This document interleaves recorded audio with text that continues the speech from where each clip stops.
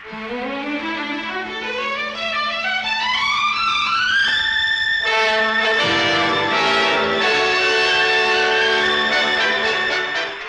message is brought to you by the Coalition of Alternate Living Methods.